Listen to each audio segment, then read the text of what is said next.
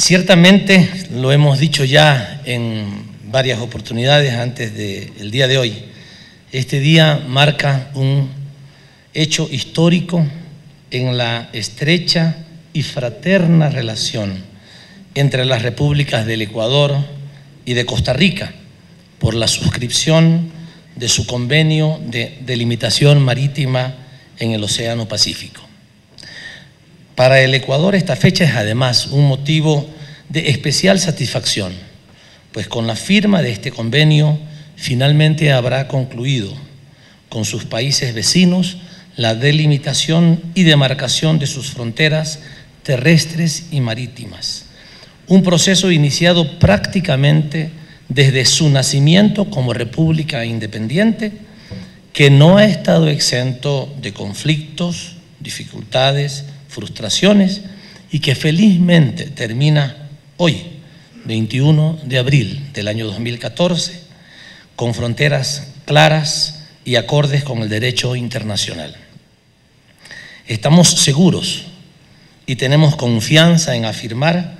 que dichas fronteras en adelante, lejos de ser líneas de separación, división y conflictos, se convertirán en puntos de unión, de convergencia e integración de pueblos hermanos que unidos por raíces comunes aspiran a ser dueños de sus propios destinos y partícipes directos en la construcción de una patria grande, latinoamericana, soberana, libre, próspera y de justicia.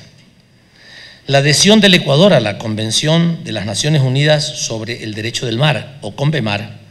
en septiembre del 2012 nos ha permitido perfeccionar la delimitación efectuada en el año de 1985 a través de varias reuniones preparatorias y otras de carácter técnico efectuadas sucesivamente en Costa Rica y en el Ecuador. La conclusión de este convenio de delimitación marítima entre Ecuador y Costa Rica constituye un valioso ejemplo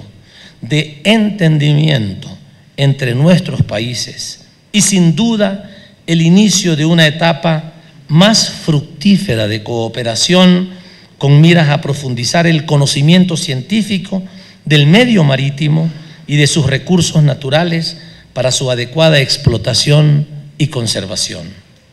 Esta delimitación ha sido posible gracias a, la voluntad política de la presidenta de Costa Rica, Laura Chinchilla, del presidente del Ecuador, Rafael Correa, y al esfuerzo y dedicación de las personas, de los funcionarios que han participado en las negociaciones, en las reuniones técnicas y en la elaboración de la memoria y carta de límites que ha sido entregada ahora. Música